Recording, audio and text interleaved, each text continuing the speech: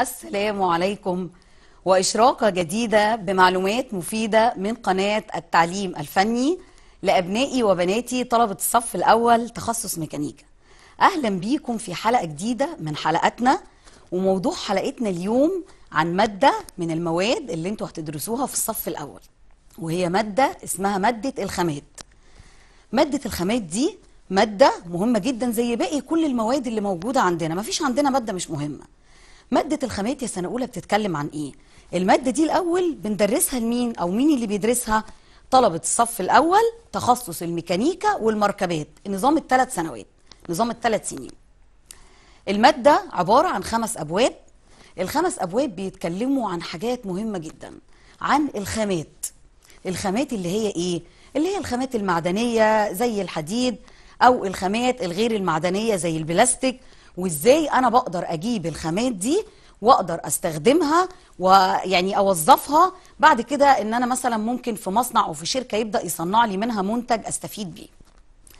طيب إحنا اتفقنا إن إحنا قبل ما بندرس أي مادة لازم نعرف إيه هو الهدف من دراسة المادة. الهدف من دراسة مادة الخامات يا سنة أولى إن أنا أقدر أتعرف على جميع المواد المعدنية والغير المعدنية. طيب حلقة النهارده هنبدأ كده بشوية مصطلحات كم مصطلح كده صغير هاتوا بس ورقة وقلم واكتبوا كده معايا. أول مصطلح عندنا في حلقة النهارده هو إيه؟ إحنا هنبدأ ناخد المادة من أول ما بتكون في باطن الأرض لحد ما بستخرجها واستخلصها وأطلع منها معدن أقدر أستخدمه في الصناعات. يعني إيه؟ المادة يا ولاد لما بتكون موجودة في باطن الأرض بيبقى اسمها غفل. كلمة غفل لما أسمعها في مادة الخامات أعرف إن المادة دي موجودة في باطن الأرض. طب أنا عايز أستخرج المادة دي علشان أقدر أستخدمها في الصناعات. هل هينفع إن أنا يا ولاد أستخرجها من باطن الأرض وأبدأ أستخدمها على طول؟ ما ينفعش. طب أنا إزاي أصلا يا مس استخرجتها من باطن الأرض؟ في منشآت صناعية كبيرة بتكون خاصة أو زي المعامل كده بتكون خاصة بحاجة اسمها المسح الجيولوجي. المسح الجيولوجي ده يعني إيه؟ يعني يا ولاد بتكون عبارة عن أجهزة ساعات بتشوفوا كده في الشارع في ناس واقفة بكاميرا كده وحامل وبيبدأوا يصوروا. دول مساحين بس دول ممكن ياخدوا مساحة أرض أو حاجة معينة. لا إحنا بقى في مادة الخامات المسح الجيولوجي بيحصل إزاي؟ بيحصل عن طريق إن المنشأة بيكون فيها أجهزة وبيكون فيها متخصصين. المتخصصين دول بيعملوا إيه؟ بيبدأوا يعملوا دراسات جيولوجية على التربة. يعني بيجيبوا مثلا جزء من التراب بتاع الأرض ده ويبدأوا يشوفوا بعض التحاليل ويجروا عليه كده زي تجارب ويبدأوا يعرفوا إذا كان في هنا خام ولا ما فيش والخام ده أقدر أوصل له إزاي؟ البعد عن الأرض قد إيه؟ أو الخام ده إيه؟ فأول حاجة النهارده كلمة مسح جيولوجي معناها إن هي إيه؟ إن في منشآت بتعمل ومتخصصين بيعملوا زي تجارب على الأرض عشان يقدروا يعرفوا في خام موجود ولا لأ. طب أنا عرفت إن في خام. وبدأت أستخرج الخام. الخام ده بسميه إيه؟ أو المادة دي بسميها إيه دلوقتي؟ بسميها غفل. الغفل ده عبارة عن المواد اللي بتستخرج من باطن الأرض يا سنة أولى بس بتكون عبارة عن إيه؟ عبارة عن كتل كتل صخرية. طب أنا لما استخرجتها من باطن الأرض مش هي سنة أولى بتكون مليانة شوائب وأتربة؟ طب أنا ينفع أستخدمها كده على طول؟ لا لازم أنقيها الأول. بعمل لها إيه؟ بعمل لها حاجة اسمها استخلاص. علشان أحول المادة اللي أنا طلعتها من باطن الأرض اللي هي اسمها إيه يا سنة أولى؟ برافو عليكم اللي اسمها غفل. عايز أحولها لخام. طب أنا جبتها وبدأت أتخلص أعمل لها عملية استخلاص وأتخلص من الشوائب وهنشوف كل ده في حلقة النهارده بالتفصيل إزاي بعمل كده. طب أنا دلوقتي خلاص زي ما إحنا قلنا جبت المادة استخرجتها الغفل وبدأت أعمل لها عملية استخلاص. وست... خلاص. يعني خلاص ما بقاش فيه شوائب ولا أتربة موجودة فيها وبقى عندي مادة خام. أقدر أقول عليها كده المادة الخام. يبقى المادة الخام هي إيه؟ أو الخام هو إيه؟ هو المادة اللي أنا استخرجتها من باطن الأرض وعملت عليها عملية استخلاص. ده كده كده النهارده ده إيه؟ تاني مصطلح قلناه. المصطلح الأول اللي هو الغفل اللي أنا بجيب الخام من باطن الأرض أو المواد من باطن الأرض بعد كده أحولها لخام عن طريق استخلاصها. طب أنا استخلصتها وشلت منها الشوائب والأتربة. ينفع أجيبها أستخدمها؟ لا. لازم أعمل إيه سنة أولى؟ لازم أعمل لها حاجة أو أحولها لمعدن. المعدن ده بيتحول إزاي؟ عن طريق بقى محولات أو أفران. هنتكلم النهارده عن المحولات والأفران دي علشان أحولها لمعدن. يبقى إحنا كده في ثلاث مصطلحات مهمين في بداية الحلقة. أول حاجة المواد الغفل اللي بتستخرج من باطن الأرض. بعد كده هعمل عليها عملية استخلاص عشان أحولها لإيه؟ سنة أولى لخام. برافو عليكم. بعد كده الخام ده ما أقدرش أصنعه فبعمل له عملية تفاعلات. التفاعلات دي عن طريق الأفران أو عن طريق تفاعلات كيميائية علشان أستخلص منه الجزء أو أجزاء من المواد اللي موجودة فيه وأخليه معدن أقدر أشكله اللي هو إيه؟ معدن. طيب أنا هقول لكم على حاجة بسيطة كده نقول مثال كده بسيط. الالومنيوم يا سنة أولى. الالومنيوم ده إحنا موجود معانا كل يوم في إيه يا مس الأواني بتاعة الطهي اللي إحنا بنطهى وبنطبخ الأكل فيها دي مصنوعة من الالومنيوم العلب اللي هي بتاعة المشروبات الغازية اللي هي علب الكنز يا سنه اولى دي مصنوعة من الالومنيوم طب أنا إزاي قدرت أحدد إن أنا من مادة واحدة اللي هي الالومنيوم أصنع منها أواني للطهي وكمان أصنع منها العلب بتاعة الكنز مع إن دي طبعا أنا لو مسكت العلب بتاعه الكنز دي بإيديا بتطبق إنما الأواني بتبقى أواني إيه سنة أولى بتبقى أواني صلبة. بعمل عليها إيه؟ بطلع الأول الالومنيوم اللي هو اسمه خام أو اسمه نبدأ بقى نقول زي ما إحنا قلنا اللي هو الغفل البوكسايد ده بطلعه وبعد كده بعمل إيه؟ سنة أولى عليه عايزة أحوله لخام. ببدأ أستخلصه من الشوائب والأتربة وبعد كده عايزة أحوله لإيه؟ لمعدن. بدخله بقى ممكن فرن تحليل كهربي. أو بدخله على التحليل الكهربي عشان أبدأ أطلع له منتج. مع إن أنا أصلا عندي منتج الالومنيوم ده يكفي 3 يعني 300 سنة قدام حوالي 300 سنة قدام. بس طبعا عشان إحنا عارفين إن المواد دي أو مادة الالومنيوم بالذات أو معدن الالومنيوم بياخد تكلفة كبيرة جدا في استخراجه. فحتى بنشوف كده إن في ناس بتجمع اللي هو العلب بتاعه الكنز بتاعه الحاجة الساقعة دي وبتبدأ تعملها زي نفايات وتعيد تصنيعها مرة أخرى. علشان أقدر اوفر. يبقى إحنا كده النهارده قلنا ثلاث مصطلحات الغفل والخام والمعدن. نبدأ كده حلقتنا وهنتكلم عن أول عن أول خام أو أول حاجة من المواد المعدنية وهي الحديد. مقدمة عن ثروة الخامات المعدنية وغير المعدنية. يعني معنى كده إحنا قلنا إن في خامات معدنية زي الحديد والألمونيوم زي ما ادينا مثال وقلنا كمان في معادن غير معدنية زي البلاستيك. طبعا توافر المعادن دي سنة أولى مهم جدا علشان الصناعات. أنا ما أقدرش تقوم صناعة من غير ما يكون عندي خامة أو معدن أقدر أستخدمه علشان على أساسه أعمل منتج صناعي. ودي كده بعض الخامات اللي بتستخرج من الأرض. طبعا مصر بتبذل مجهود كبير جدا علشان تبدأ زي ما إحنا قلنا تبحث عن المعادن أو عن المواد دي زي ما إحنا قلنا بتعمل مسح جيولوجي وبيبقى فيه مناجم وبيبدأوا يدوروا علشان يعرفوا إيه هي الثروات اللي موجودة في الأرض وينقبوا عنها يعني يدوروا عليها. علشان يستغلوها في خامات نقدر بعد كده إن إحنا نستخدم الخامات دي في تدعيم الصناعة ويبقى لينا شأن بين الدول. ودي كده صورة للمصانع اللي هي ممكن بتستخدم زي استخراج البترول أو الغاز الطبيعي.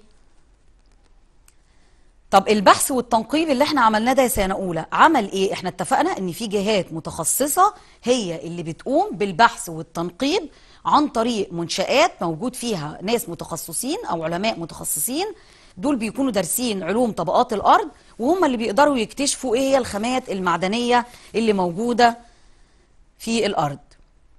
وهنا كده برضو ممكن استخراج للبترول. خام الحديد.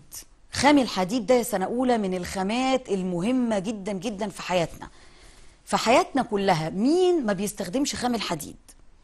من بداية من الإبرة اللي إحنا بنخيط بيها دي مصنوعة من الحديد للكباري اللي إحنا بنمشي عليها للسكك الحديدية للمنشآت الصناعية ولو ببني عمارة محتاج إيه؟ محتاج حديد. طيب الكراسي والترابيزات والبوابات كل الحاجات دي بيدخل في صناعتها. مادة الحديد ده مش بيدخل ده هي مادة أساسية في صناعتها هي الحديد. عشان كده بقول إن الحديد من أهم الخامات اللي موجودة في مصر. طب أنا ممكن بعد كده أستخرج بقى من الحديد أستخرج منه خامات أقدر أستخدمها زي الحديد الزهر وزي الحديد الطري. كمان إحنا عندنا من ضمن الخامات اللي إحنا بنستخدمها كل يوم الرصاص. القلم الرصاص اللي إحنا بنكتب بيه.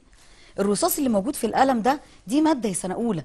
فأنا بقول إن المواد دي مهمة جدا. لما بستخرجها بقدر إن أنا أرفع بيها أقدر أشغل طبعا عمالة إن هم بيستخرجوا الخامات دي وبعد كده بيستخلصوها وبعد كده بيجروا عليها عمليات تفاعل في عمالة شغالة أهي. بعد كده بعمل إيه؟ بعد كده أحدد المنتج اللي أنا عايز أصنعه. نكمل كده مع بعض. ده صورة لخام الحديد وهو لسه طالع غفل. دي صورة اهي زي ما إحنا شايفين. يا سنة أولى معانا صورة للغفل أو صورة للحديد الغفل وهو طالع من باطن الأرض. بيكون عبارة عن كتل صخرية زي ما إحنا قلنا. ورغم التقدم الصناعي والتوسع في استخدام الألمنيوم وسهولة استخدامه إلا إحنا بنقول إن هو من المواد الأساسية ولكن الحديد هو مهم جدا في الصناعة. خام الحديد من الخامات المنتشرة في الطبيعة موجود كتير جدا زي ما إحنا قلنا في استخداماته كتير قوي وده بيقدر بحوالي 50 كيلو جرام في الطن.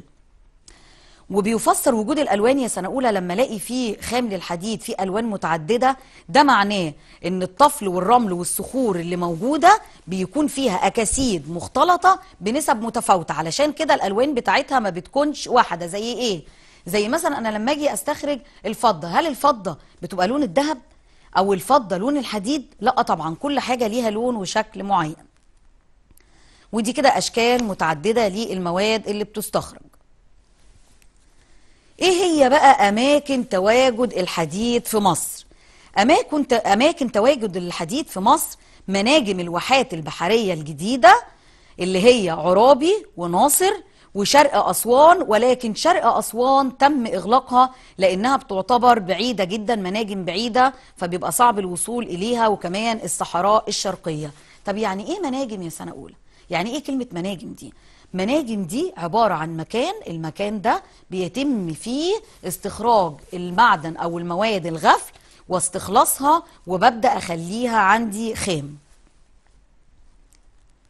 وده كده شكل معانا للحديد. شايفين أشكاله متعددة وهنلاقي منه ألوان متعددة. خام الحديد بقى بيتميز بإيه في المناجم الواحات البحرية؟ ده سؤال ممكن يجيلك في الامتحان. بما يتميز خام الحديد بمناجم الواحات البحرية بيتميز بإيه؟ ارتفاع نسبة الحديد فيه. نسبة الحديد بتكون عالية فيه جدا يا سنة أولى. وكمان انخفاض نسب الشوائب. نسبة الشوائب فيه بتكون قليلة علاوة على سمكه الكبير. فالسمك ده بيديني مساحة إن أنا أقدر أستخدمه في صناعات كتير. بيصل لكام السمك يا أولاد ساعات؟ لأكتر من 20 متر. واحتياطات الخام في المنطقة دي موجودة بتزيد عن 200 مليون طن يعني عندي احتياطي كبير جدا منها. طب بستغلها في إيه؟ بستغلها في الصناعات في مجمع الحديد والصلب بحلوان وبتنتج لي حوالي واحد ونص مليون طن من الحديد سنويا. إنتاج هائل يا سنة أولى. شايفين الإنتاج كبير إزاي؟ فعلشان كده بقول إن الحديد من المواد الأساسية. وده كمان شكل لمعادن مختلفة بالنسبة بقى إحنا قلنا ان الحديد بيكون موجود في مناجم أسوان وقلنا ان هي تم إغلاقها ليه؟ لأن إحنا قلنا علشان نستغلها في تشغيل مصانع الحديد والصلب بحلوان عملوا اكتشاف منطقة في الواحات البحرية اللي هي مناجم أسوان ودي بتمتاز بارتفاع نسبة الشوائب لقوا إن في نسبة شوائب كبيرة فيها والسمك قليل. طب أنا دلوقتي قلنا إن إن أهم حاجة في المناطق بتاعة الواحات البحرية إن الشوائب قليلة والسمك بتاع الحديد كبير جدا. إنما المناجم اللي موجودة في أسوان قال لك ليه بطلنا نستغلها أو نستخدمها؟ لأن الحديد اللي خارج منها بيكون فيه نسبة شوائب عالية جدا والسمك بتاع الحديد بيكون قليل. طب وأنا ليه أبذل مجهود في مكان فيه شوائب كتير وهاخد وقت كبير جدا لاستخلاص المعدن؟ وكمان السمك بتاعه قليل مش هيساعدني في توسيع الصناعات. وأنا عندي مكان ممكن أوفر الوقت والمجهود فيه زي الواحات البحرية. يبقى لما يقول لي ليه مناجم أسوان تم إغلاقها؟ لأن المعدن المستخرج منها مليء بالشوائب والسمك بتاع المعدن بيكون سمك قليل. نكمل مع بعض. وكمان إيه؟ طول المسافة. المسافة بتاعت أسوان لمصانع الحديد والصلب بتكون بعيدة جدا يا سنة أولى. علشان كده تم إغلاق المناجم. أما خام الحديد في الصحراء الشرقية لسه ما استغلوش المنطقة دي علشان صعوبة تعدين التعدين اللي هو إيه؟ التعدين اللي هو استخراج استخراج. بعد ما بخلص أو أستخلص المادة ببدأ أحولها لمعدن عشان أستخدمه. ده اسمه تعدين.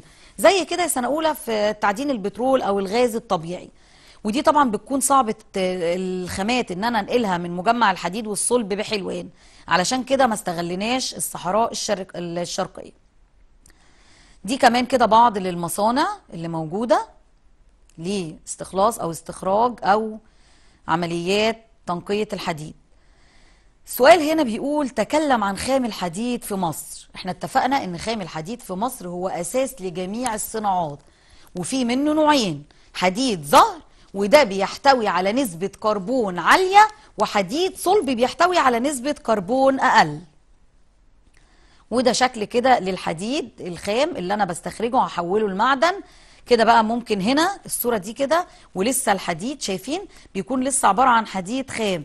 هنا بقى ببدأ أجري عليه عمليات علشان أحوله لمعدن أقدر أستخدمه في الصناعات. النحاس واستخدامه.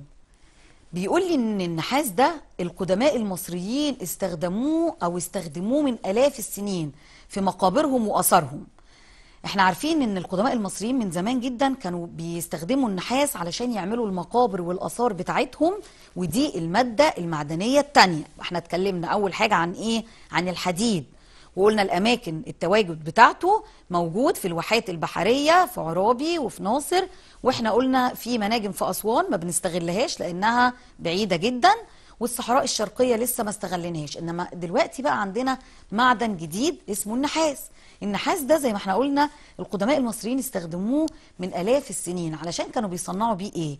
بيعملوا بيه حاجات في المقابر وبيصنعوا بيه الآثار اللي موجودة داخل المقابر أو يعملوا تماثيل كده. بنشوف تماثيل من النحاس موجودة في المقابر. طيب أماكن التواجد بتاعته فين؟ نشوف كده مع بعض. أماكن تواجده في مصر بالصحراء الشرقية بمناطق المناطق اللي موجود فيها النحاس أم سمبوكي والدرهيب. وأبو سمبل وشبه جزيرة سيناء. دي المناطق الأساسية اللي موجود فيها النحاس يا سنه اولى وده شكل للنحاس الخام اللي طالع من باطن الأرض عبارة عن كتل. وتجرى الآن عمليات مسح جيولوجي علشان نكتشف مناطق جديدة لتتبع الخام المنتشر تحت سطح الأرض. وقلنا يعني إيه مسح الجيولوجي يا سنة أولى برافو عليكم. إن في منشآت هي موجود فيها علماء متخصصين في علوم الطبقات الأرضية أو القشرة الأرضية هم اللي بيعملوا مسح الجيولوجي ويحدد لي. يقول لي والله قطعة الأرض دي فيها خام الحديد وقطعة الأرض دي أو المكان ده في خام النحاس وهنا موجود بترول وهنا موجود غاز طبيعي. يبقى كلمة مسح الجيولوجي معناها المنشآت اللي بتختص في علوم القشرة الأرضية اللي بتحدد لي إيه مكان الخام أو هو موجود فين وكمان النسب بتاعته وهل هو صالح للاستخدام ولا لأ. نكمل كده مع بعض. شوف كده شكل للنحاس النحاس إحنا شفناه من شوية لما كان كتلة لسه خارج من باطن الأرض اللي هو الغفل. طب أنا كده حولته لإيه؟ برافو عليك وحولته المنتج بعد ما حولته الخام وحولته بعد كده المعدن لأ ده عمل لي هنا منتج زي ما إحنا شايفين. طب إيه كمان؟ شايفين النحاس كمان بستخدمه في إيه؟ في الأسلاك بتاعة الكهرباء. بستخدم النحاس برضو غير المنتجات بستخدمه في أسلاك الكهرباء. الالومنيوم إحنا كده اتكلمنا عن الحديد واتكلمنا عن الالومنيوم عن النحاس. هنتكلم بقى عن الالومنيوم الالومنيوم بيتميز بإيه؟ هو معدن خفيف الوزن. زي ما إحنا قلنا كده إن العلبة بتاعة الكان دي لما بصنعها من الالومنيوم وأجي أشيلها خفيفة. وشدة مقاومته للتآكل ما بيتأكلش بسهولة وكمان ما بيصديش. وتوصيله جيد جدا للحرارة. يعني أنا لو مسكت الأواني علشان كده الأواني بتاعة الطهي بتصنع من الالومنيوم لأنها جيده التوصيل بالحرارة. وكمان الكهرباء في أسلاك من بتاعة الكهرباء بتبقى مصنوعة من الألمونيوم. وسهولة تركه وسحبه. يعني إيه مس كلمة تركه وسحبه دي؟ وهو كمان عاكس للضوء والحرارة وعلشان كده بيدخل في كتير من الصناعات. يعني إيه تركه وسحبه؟ يعني يا سنه اولى أنا لما باجي أطلع الخام بتاعي بطلعه غفل وبعد كده أحوله لخام وبعد كده أنا عماله أكد على النقطة أهو. وبعد كده أحوله لمعدن بيطلع عندي معدن الالومنيوم طب أنا عايز المعدن ده أحدده. أقول والله أنا هستخدم المعدن ده عشان أعمل بيه أواني طهي. لا أنا هستخدم المعدن ده علشان أعمل بيه العلب اللي هي بتاعة الكنز أو أعمل بيه أي حاجة تانية بتصنع من الالومنيوم بعمل إيه؟ بجري عليه عمليات اسمها عمليات الطرق والسحب.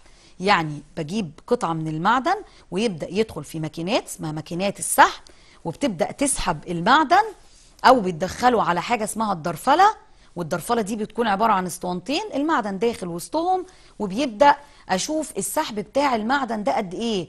وهو قابل للسحب تمام يبقى المعدن ده هستخدمه في حاجات بسيطة زي العلب بتاعة الحاجة الساقعة. يبقى ده معدن الألمنيوم بيتميز بالحاجات اللي إحنا قلنا عليها. ده كده كمان معدن الألمنيوم اللي هو اللي أنا طلعته من باطن الأرض. الألمنيوم بستخدمه في إيه؟ في وسائل النقل يعني العربيات أو وسائل النقل بيكون مصنوع منها أجزاء من الألمنيوم وكمان في الأجهزة الكهربية وصناعة المباني وزي ما إحنا قلنا صناعة الأواني أو اللي هي أي صناعات أخرى. وكمان زي ما إحنا قلنا في بداية الحلقة إن الألمنيوم بيستخدم أو بستخدمه في صناعة الأواني اللي عن طريقها بقدر أقوم بعمليات تشكيل للألمنيوم زي ما إحنا شايفين. وشفنا من شوية كده إن كان في الألمنيوم بتاعي وأنا لسه مستخرجه من باطن الأرض وبعد كده أنا بحوله بعد كده على بجري عليه عمليات وعلشان أحوله أخليه زي ما إحنا شايفين كده إن هو يبقى عندي منتج أقدر أستخدمه أو معدن أحوله لمنتج واقدر استخدمه. نشوف كده مع بعض إيه كمان. آه، مجمع الألمنيوم بنجع حمادي في مجمع للألمنيوم موجود بنجع حمادي. ده بيكون معتمد على الخام المستورد. يعني أنا بستورد خام من بره بيكون موجود ده في مجمع الألمنيوم في نجع حمادي. وإنتاج أو الإنتاج المصري أكتر من ألف طن سنويا من الألمنيوم يعني أنا بجيب الخام وبعد كده بعمل له عمليات وبعد كده بخليه منتج أقدر أستخدمه. الشركات هي اللي بتقوم بتغطية احتياجات الأسواق الأسواق المحلية. وبيتم تصدير الباقي بعد ما بخلص بقى المنتج بصدر الباقي. طب ده عملية التصدير وإن أنا آخد منتج وإن أنا أشكله وأبدأ بعد كده إن أنا أصدره ده بيعمل إيه؟ زيادة نهضة الاقتصاد المصري وكمان بيخلي فيه عملات حرة. بلاقي عملة حرة موجودة أو بيدر عليا فلوس. وده شكل كمان لاستخدامات الالومنيوم وانتوا عارفين ورق الفويل اللي إحنا بنستخدمه ده على البوتاجازات أو للأكل ده كمان مصنوع من الالومنيوم وقد اكتشف حديثا في بقى حاجات حديثة اكتشفوها في بعض تواجد لخام الألمنيوم اسمه الألمنيوم البوكسايت وده بيكون موجود جنوب غرب أسوان. وفي عمليات بحث الجيولوجي أو مسح الجيولوجي في المنطقة دي علشان يعرف لي جودة الخام وكمياته وأقدر أستغله في إيه؟ بدل من إن أنا سنة أولى إن أنا أستورد خام الالومنيوم وطبعا ده بيكلفني فلوس كتير. لأ هم اكتشفوا بعض أماكن تواجد للالومنيوم الأماكن دي في عمليات مسح الجيولوجي بيجروها على على الأماكن دي. وهتقول لي إيه بقى؟ المسح ده هيقول لي إيه؟ هيقول لي يا ترى المنتج ده الخام بتاعه جيد ولا لا؟ طب أنا هقدر أستخدمه؟ إيه هي إمكانيات استغلاله؟ أقدر أستخدمه في إيه؟ ما أنا لو جبت منتج أستخدمه في حاجة واحدة يبقى مش عايزه. كده هيصرف عليا وهيكلفني كتير. إنما لو منتج أو معدن استخرجته من باطن الأرض وأستخدمه في صناعات كتير أقول أيوه أنا عايزه علشان ده هيعمل إيه؟ هيرفع من الاقتصاد. إحنا كده اتكلمنا عن معادن مهمة جدا. أول معدن اتكلمنا عليه معدن الحديد وبعد كده معدن النحاس وبعد كده معدن الألمنيوم المعدن الرابع اللي إحنا هنتكلم عليه هو المنجنيز. بتحتاج صناعة الصلب لمعدن المنجنيز. علشان أطلع معدن صلب أنا عايز منجنيز يكون موجود فيه يضاف للحديد علشان إيه سنة أولى؟ علشان ينتج لي أنواع معينة من الصلب. يعني معنى كده إن الحديد اللي موجود عندي هضيف عليه منجنيز يديني نوع من أنواع الحديد الصلب علشان أقدر أستخدمه. نشوف كده مع بعض صورة للمنجنيز دي صورة لمعدن المنجنيز الدول المنتجة للمنجنيز أول دولة هي الاتحاد السوفيتي ويليه الهند وغانا وجنوب أفريقيا. ومراكش واليابان ومصر. مهم جدا يا سنة أولى تذاكروا الأماكن اللي موجود فيها المعادن. ده سؤال بيجي دايما في الامتحان. أماكن تواجده بقى في مصر. ده أماكن ال- ال- الشريحة اللي كانت قبل كده أماكن تواجد المنجنيز عموما. أماكن بقى تواجده في مصر فين؟ في شبه جزيرة سيناء في منطقة أم بجم وإحنا بنسمع كتير عن المنطقة دي.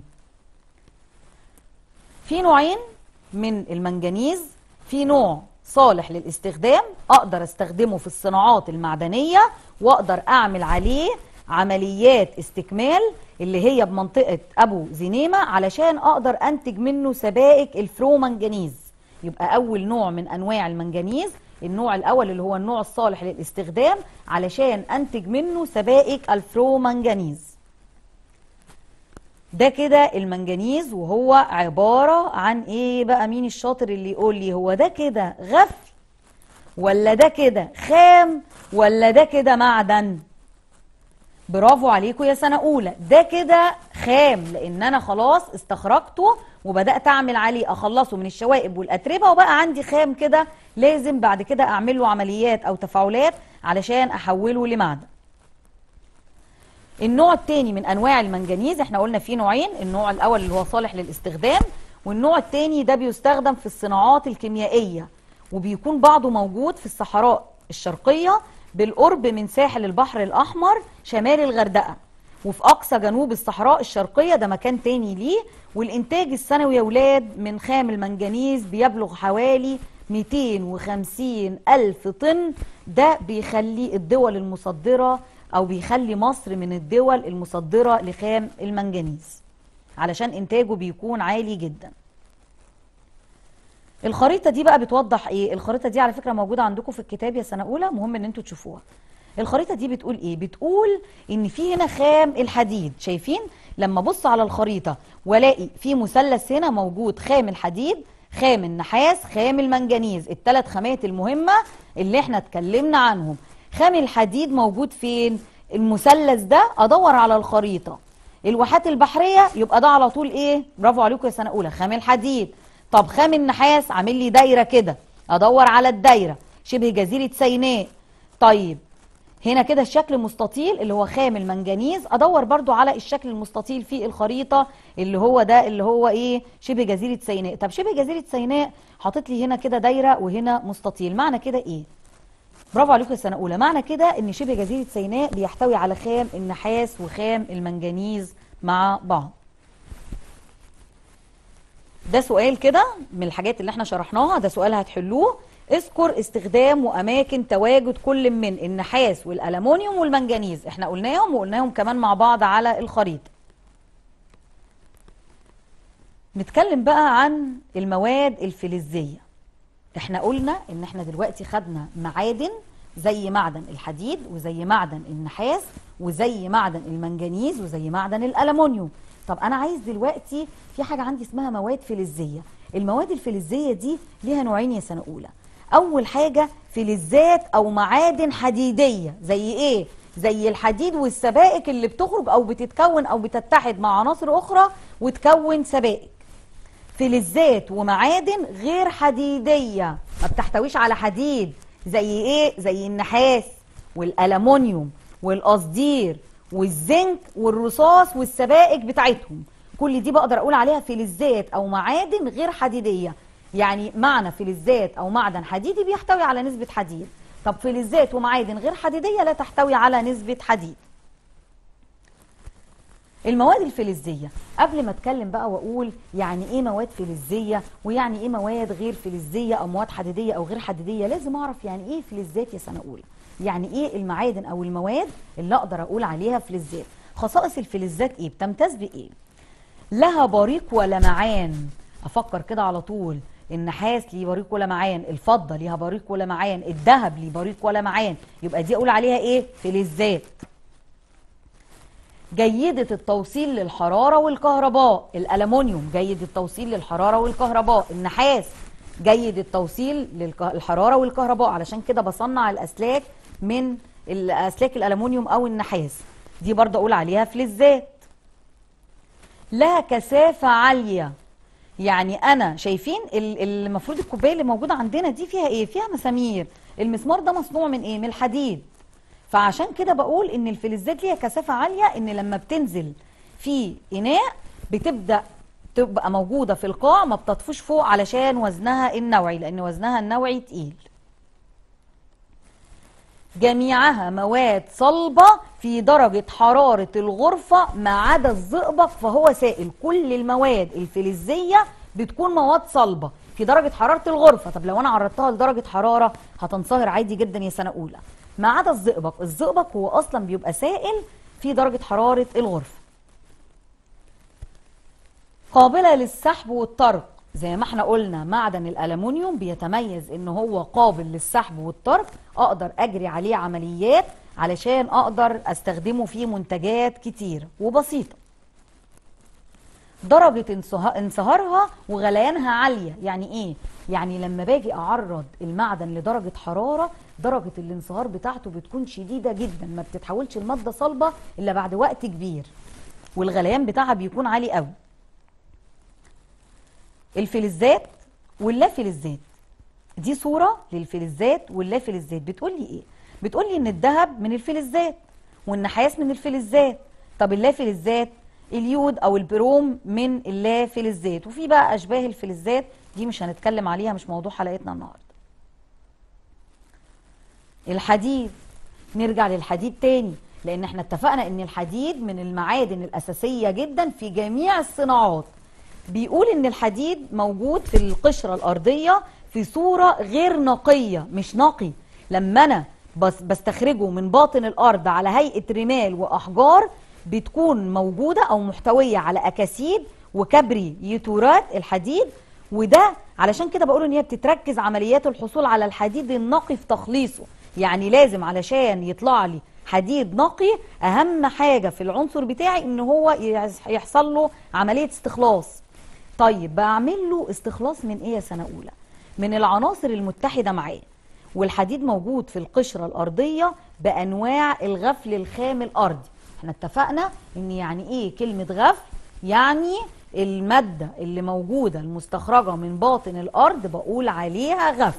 علشان كده بقول إن غفل الحديد موجود فين؟ في القشرة الأرضية. أنواع الغفل بقى. إحنا قلنا إن الحديد بيطلع من باطن الأرض وهو إيه؟ غفل. غفل يعني إيه؟ يعني كتلة. مليانة شوائب ومليانة أتربة. عايز أعمل عليها عمليات علشان أحولها تاني وأطلعها منتج أقدر أستفيد بيه. إيه هي بقى أنواع غفل الحديد؟ الحديد ليه انواع مهمين جدا. نشوف مع بعض. أول نوع الهيماتايت وهو أكسيد الحديد الأحمر. الهيماتايت ده عبارة عن أكسيد الحديد الأحمر وده نوع من أنواع الغفل. بيعتبر أجود أنواع غفل الحديد. ليه؟ لأنه بيحتوي على 70% حديد. يجي لي سؤال علل. الهيماتايت هو من أفضل أو من أجود أنواع غفل الحديد لأنه الإجابة لأنه يحتوي على 70% حديد. الليمونايت وده أكسيد الحديد الأصفر أو البني. طيب ده بيتحد مع الماء والأكسجين علشان يحول لي أو يديني نسبة حديد عالية وبتصل فيه نسبة الحديد ل 65% حديد. وده كده شكل الخامات الحديد الليمونايت والسيدرايت لسه هنتكلم عليه دلوقتي والمجناتايت والهيماتايت. دي كلها اسمها غفل أو أنواع لغفل الحديد. المجناتايت هو أكسيد الحديد المغناطيسي وفي 72% حديد يا سنة أولى في نسبة عالية برضو السيدرايت ده كربون الحديد البني وفيه أو بيحتوي على نسبة 48% حديد وجميع الخامات متوفرة في مناجم الواحات البحرية وأسوان وساحل البحر الأحمر. يبقى إحنا كده اتكلمنا عن أربع حاجات مهمين أو أربع خامات مهمين اللي هم اسمهم غفل الحديد. إيه هم؟ الهيماتايت والسيدرايت والليمونايت والمجناتايت الأربع حاجات دول مهمين جدا أو الأربع مواد دول مهمين جدا. أعلى في أعلى خام فيهم أو أعلى مادة فيهم هو الهيماتايت بيحتوي على نسبة عالية جدا من الحديد. طيب أنا علشان أحول إحنا اتفقنا دلوقتي إن الحديد الغفل أو المادة المواد الغفل ايا كان هي إيه؟ ألمونيوم حديد نحاس أي مادة غفل بستخرجها من باطن الأرض. عبارة عن إيه؟ عن كتل من المادة. طب أنا عايز أحولها لإيه؟ هو اسمه غفل. المادة اللي أنا بستخرجها من باطن الأرض دي اسمها غفل يا سنة أولى. أنا عايز أعمل إيه؟ أحولها لخام علشان أقدر أستخدم الخام ده في الصناعات وأحول الخام بعد كده لمعدن إيه هي العمليات اللي عن طريقها أقدر أستخلص الحديد أو علشان أحول الحديد الغفل المعدن الحديد؟ يجب إجراء مجموعة من عمليات الاستخلاص. هعمل مجموعة كده من العمليات بعضها بيحصل في المنجم اللي هو المكان اللي بيتم استخراج المعدن فيه والباقي بيح بيحدث في مصنع أو بيحصل في مصنع الحديد والصلب. العمليات اللي بتجرى علشان تحول لي الغفل أو الحديد الغفل لمعدن الحديد أول حاجة تجهيز الغفل. يعني إيه تجهيز الغفل؟ يعني تكسير الأحجار المحتوية على الغفل وغسلها وفرزها وتحميصها وتركيزها كهرومغناطيسيا وده بيتم في المنجم علشان أوفر نف... النفقات بتاعة النقل يعني أنا دلوقتي لو استخرجت الغفل وخدته وبدأت أتنقل بيه للمصانع مباشرة ده هيبقى كبير هيبقى مليان الشوائب بتاعته ومليان الأتربة. طب أنا عايز حتى كمان أقلل من حجمه عشان لما أنقله للمصانع يكون عندي سهل وبسيط والنقل بتاعه يكون سهل. فبعمل إيه؟ بعمل تكسير الخام بيتكسر وبعد كده بعد ما بعمل له عملية التكسير عن طريق كسرات هي اللي بتكسر لي الخام الحديد أو غفل الحديد وبعد كده بيتم غسله ده حاجة اسمها الغسل بالتعويم.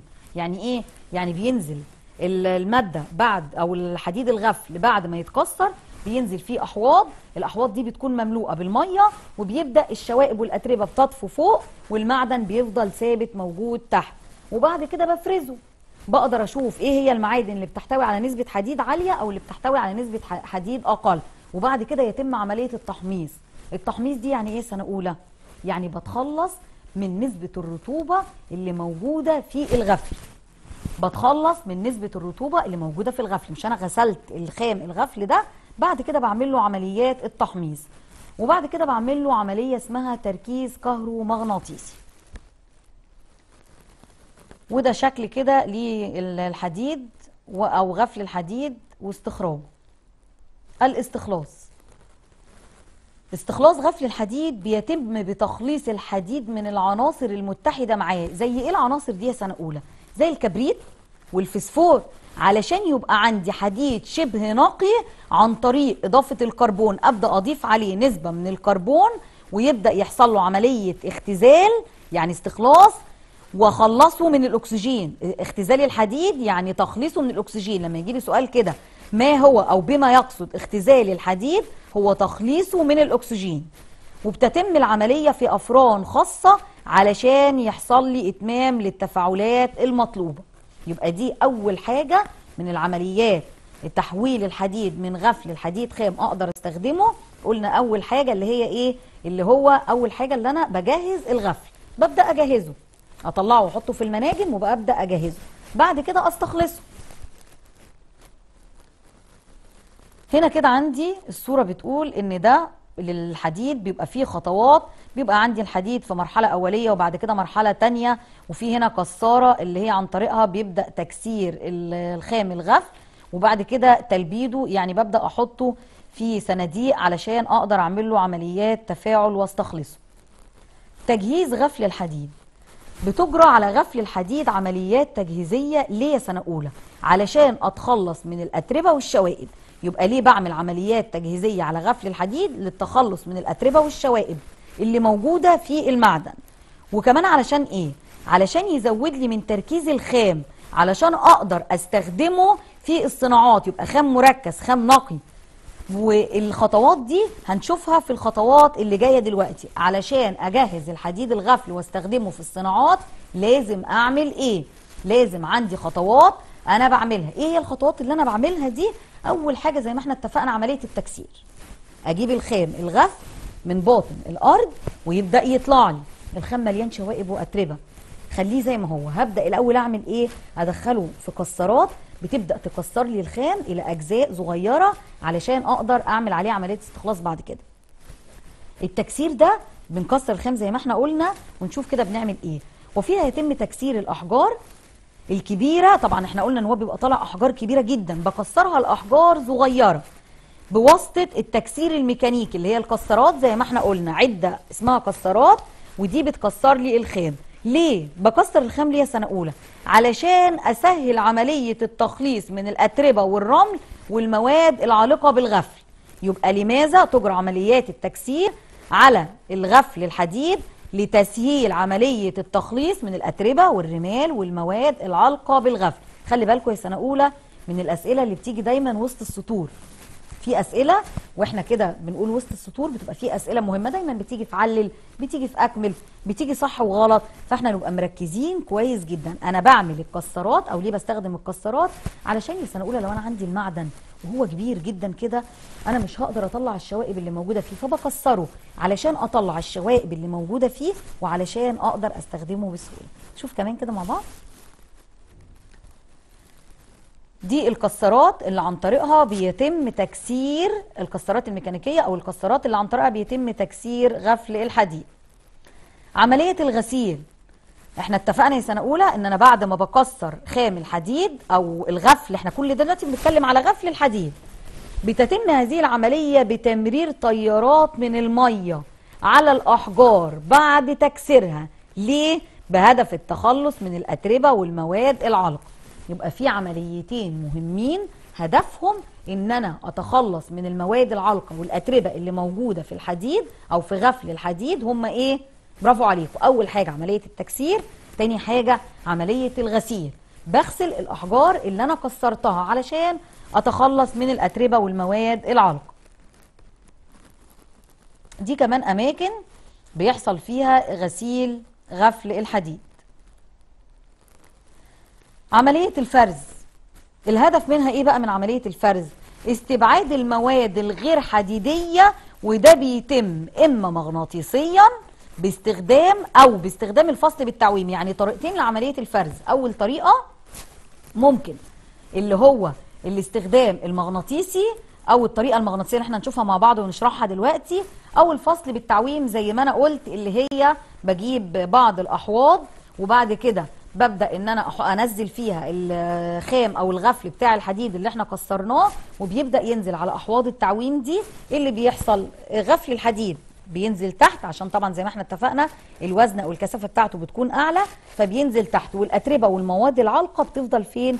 بتفضل تطفو على وش؟ المية. في كمان آه، أو برضو ال- المواد اللي هي بيكون فيها نسبة حديد أعلى بتفضل تحت.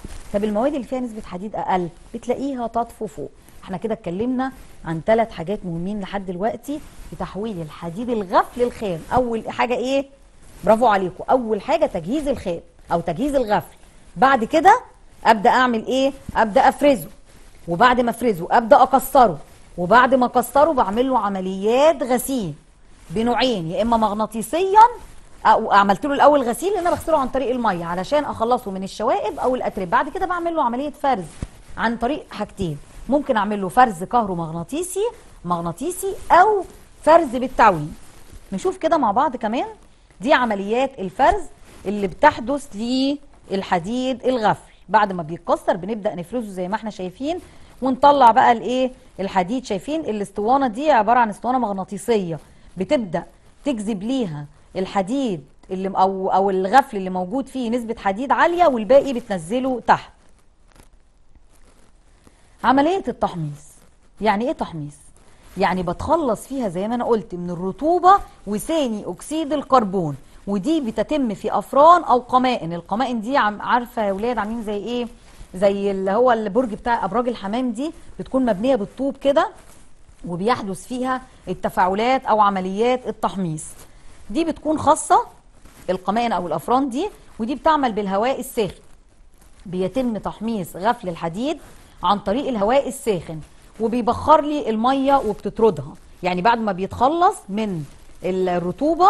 بتبدأ طبعا الرطوبة دي تطلع على هيئة بخار مية وتبدأ تطرد بره وكمان فيها في عملية التحميص دي بتخلص من جزء كبير من الكبريت وثاني أكسيد الكربون. يبقى عملية التحميص بتخلص فيها من حاجتين. أول حاجة الرطوبة وتاني حاجة الكبريت وثاني أكسيد الكربون. ودي هنا كده الخام بعد ما حمصناه. بنلاقي حتى كمان لونه بقى وشكله مختلف. طب بينتج بقى عن عملية التحميص دي إيه؟ زيادة تركيز الحديد. بيبدأ الحديد يتركز عندي بعد العمليات اللي أنا عملتها. بستخدم الفرن الدوار. في أفران اسمها الأفران الدوارة. دي بيخلط الغفل مع الفحم. بيدخل فحم موجود في الغفل بتاع الحديد. وببدأ أشحن عن طريق فتحة أسطوانية موجودة في الفرن ده. وبيبدأ الفرن الدوار ده بترتفع درجة الحرارة فيه من 115 إلى 20 درجة. علشان تقوم بعملية التحميص من 115 ل 120 درجة. طبعا درجة حرارة عالية جدا يا سنة أولى. بيتم التخلص كل ده إحنا بنتكلم في إيه؟ في التحميص. يتم التخلص من معظم السيليكا والشوائب اللي موجودة في الحديد. في بعض الشوائب الأخرى بتكون موجودة. وينتج عنه أو عن هذا الغفل بقى إيه؟ غفل غني بالحديد. استبلغ نسبة الحديد فيه حوالي 94% لأن أنا عن طريق التحميص نقيته كويس جدا نقيته من الشوائب والأتربة ومن ثاني أكسيد ال- الكربون وكمان من الكبريت وقعدت انقيه من مواد كتيرة علشان كده نسبة الحديد فيه بقت 94% عملية التركيز الكهرومغناطيسي. إحنا قلنا دلوقتي العمليات اللي بتجرى على الغفل بتاع الحديد وقلنا الغفل اللي هو طالع من باطن الأرض عمليات كتيرة منها تجهيز الخام ومنها بعد كده عمليات الفرز وعمليات التكسير وعمليات ال- الغسيل وعمليات التحميص أو عملية التحميص. في بقى عملية اسمها عملية التركيز الكهرومغناطيسي. دي بتتم إزاي سنة أولى؟ بتتم التركيز الخام في جهاز. الخام بيبدأ يتحط في جهاز اسمه جهاز فصل مغناطيسي. وفيه بتتساقط أحجار الخامة على أسطوانة دوارة.